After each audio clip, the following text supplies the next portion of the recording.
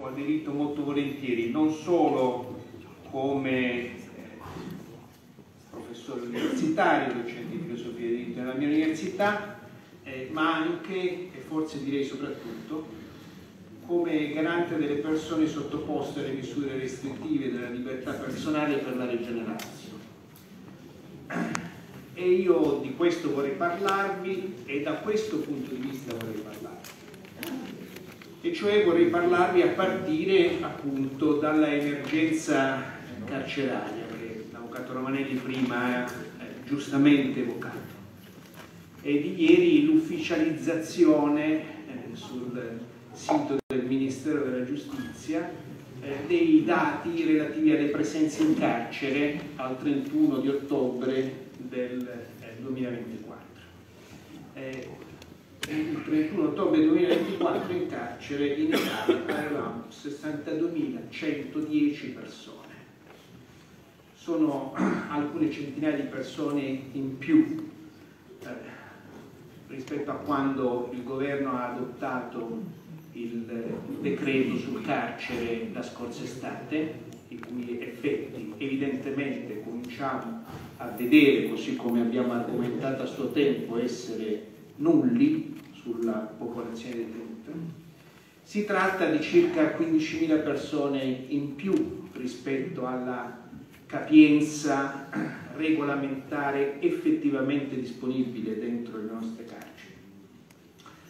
Si tratta di una eh, condizione di sovraffollamento che incide pesantemente sulle eh, condizioni di vita delle persone in carcere, trattenute in carcere in queste condizioni di sovraffollamento. Io ho visto personalmente eh, nell'estate scorsa l'occupazione delle aule scolastiche di Regina Celi affinché potessero essere disposte le brande per accogliere le persone che non avevano più posto all'interno delle sezioni.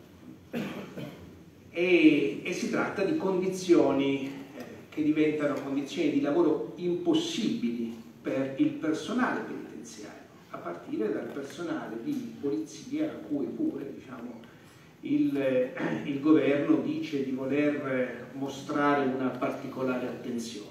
Personale di polizia che essendo gravemente sotto organico fa nelle nostre carceri turni che possono arrivare anche a 12, 16, io ho trovato ispettori di polizia che hanno fatto turni di 24 ore. Fare turni di 24 ore e diciamo, essere responsabili da soli, perché appunto, cito ancora il caso di Regina Celi, nel carcere di Regina Celi nel turno di notte c'è un poliziotto per sezione che è responsabile delle condizioni di pernottamento, di vita, degli accidenti, di qualsiasi cosa può succedere di notte, di circa 100, 150, 200 persone. È una condizione impossibile. Una condizione impossibile innanzitutto appunto per le persone, le persone detenute.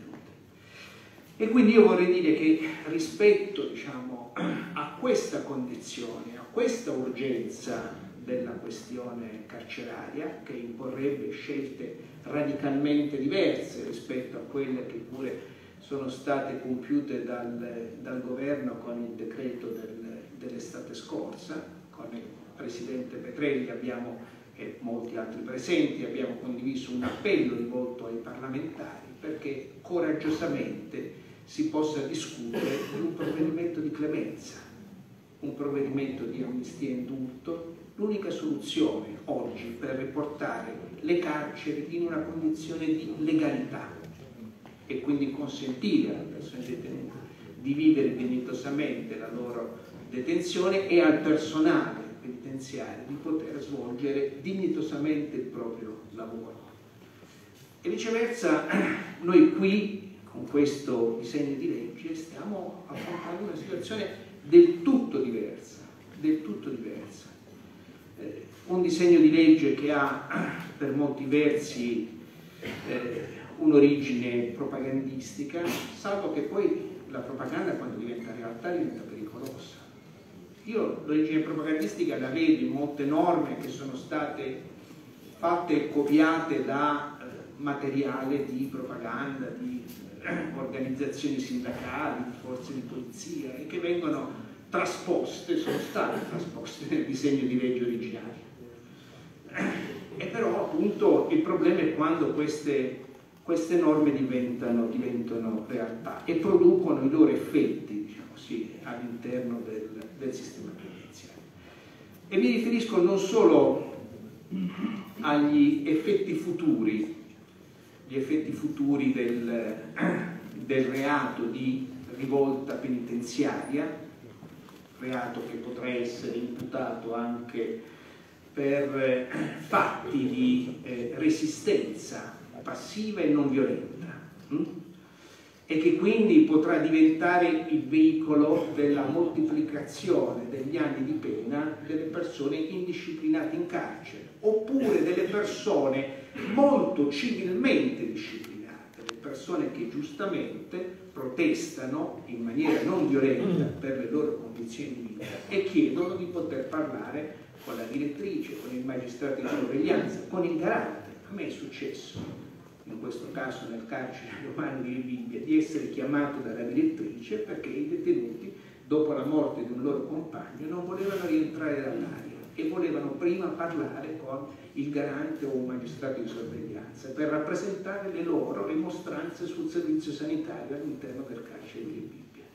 La direttrice mi ha chiamato, io sono andato a parlare con i detenuti, ho fissato un incontro con i responsabili del servizio sanitario interno e i detenuti sono, così come pacificamente non erano rientrati dall'aria, così pacificamente sono rientrati nelle sezioni. Questi detenuti ora invece saranno passibili del reato di rivolta penitenziaria, secondo questo disegno di legge. Non solo, ma basteranno tre detenuti che non rientrano nella loro cella perché vogliono parlare con l'ispettore di sezione che magari non è presente. Basterà tutto questo a moltiplicare gli anni di carcere delle persone che sono già. E poi ci saranno gli effetti delle persone che si aggiungeranno attraverso tutte le previsioni penali su cui immagino tanti altri interverranno anche dopo, diciamo, che sono contenuti in questo disegno di legge, che moltiplicano, no? chi ne ha contate, mi pare che ne ha contate 24 di nuove fattispecie penali dentro questo, dentro questo disegno di legge, e moltiplicheranno anche gli anni di carcere e anche le presenze in carcere, l'esatto contrario di quello di cui noi oggi, noi oggi avremo bisogno. Però io voglio dire, e eh, concludo perché sono tanti gli interventi previsti, non vorrei rubarvi troppo tempo.